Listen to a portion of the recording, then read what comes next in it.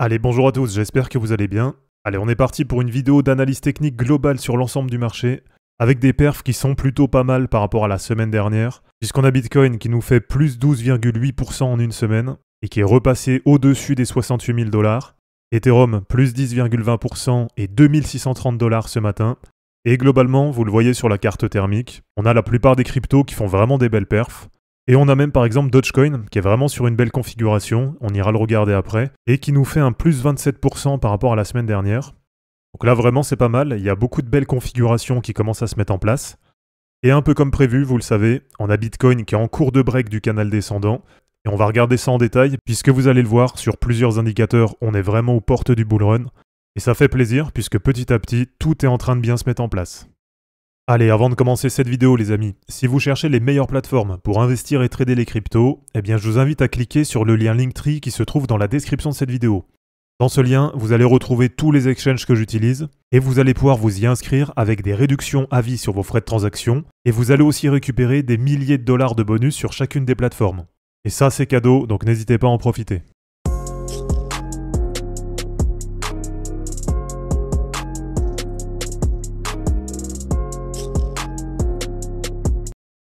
Alors, on va commencer sur Bitcoin avec 68 000 dollars ce matin, avec vraiment un passage en force du canal descendant. Et si je vous remontre déjà avec le Dynamic Rainbow 50, donc pour ceux qui n'ont pas vu la vidéo d'hier, allez la regarder, puisque je vous ai présenté cet indicateur que j'ai créé. Et donc, malgré ce break très franc du canal descendant, eh bien pour l'instant, on est toujours dans la zone d'accumulation, puisqu'on reste toujours dans une fourchette entre plus 0 et plus 20% par rapport à la moyenne mobile 50. Donc malgré vraiment que la configuration elle soit belle, pour l'instant, pour tous ceux qui se posent la question, en tout cas me concernant, j'ai pas prévu de prendre des profits actuellement sur Bitcoin. Et donc là, ce qui serait vraiment positif, eh bien ce serait qu'on arrive à clôturer la semaine au-dessus de ce canal descendant. Et puis que sur les semaines suivantes, eh bien bien sûr, il n'y a pas de réintégration. Donc là, ça commence vraiment à être pas mal. Et comme je vous disais dans l'intro, tout ce qu'on attendait, ça commence petit à petit à se mettre en place. Et donc l'objectif sur Bitcoin, vous le savez, c'est d'aller chercher une zone entre 80 000 et 85 000 dollars. Et donc pour l'instant, concernant Bitcoin, graphiquement, il n'y a rien de plus à dire. Et tant qu'on reste au-dessus du canal descendant, ça veut dire que cet objectif entre 80 000 et 85 000 dollars, il est bien activé. Et que normalement, bah, c'est maintenant plus qu'une question de temps avant d'aller le chercher. Alors, ce que je vous ai dit dans l'intro et ce que je voulais vous montrer, c'est qu'on a la configuration bullrun là qui est vraiment en train de se mettre en place. Et donc cette fameuse configuration bullrun, normalement, si vous me suivez régulièrement, vous la connaissez. Et c'est simplement le fait d'avoir toutes les moyennes mobiles en hebdomadaire qui sont haussières et dans le bon sens. Donc là actuellement, on a le croisement haussier entre la moyenne mobile 7 qui est en train de repasser à la hausse la moyenne mobile 20. Et récemment, on a vu un croisement qui était assez important, puisque c'était le croisement de la moyenne mobile 100 en blanc qui repassait à la hausse la moyenne mobile 200. Et c'est vrai que là pour l'instant, sur le cycle, on avait bien une belle perte de la part de Bitcoin, mais pourtant on n'avait pas cette configuration bullrun, puisqu'on avait toujours la moyenne mobile 100 qui était en dessous de la moyenne mobile 200. Et il va falloir bien sûr tenir ce croisement sur les prochaines semaines. Donc si je vous montre un peu ce que ça donne quand on a une configuration bullrun qui se valide, donc quand on a vraiment toutes les moyennes mobiles qui deviennent haussières et dans le bon sens, eh bien regardez, par exemple sur le cycle précédent, cette configuration, elle s'était validée ici, avec en dernier croisement haussier la moyenne mobile 20 qui avait passé la moyenne mobile 50, et donc à partir de là, à partir de fin juillet, début août 2020, on a bien eu toutes les moyennes mobiles qui étaient haussières et dans le bon sens. Donc quand on a ce genre de configuration, moi c'est ce que j'appelle la configuration bull run. Et en général, regardez, c'est ce qui permet de lancer la vraie parabolique sur le marché. Et si on prend par exemple sur le cycle de 2017, eh bien regardez, c'est pareil. Dès qu'on a eu cette configuration bull run qui s'est validée, on voit que c'est bien parti en parabolique et que c'est vraiment à partir de là qu'on a le bull run qui s'est lancé sur le marché.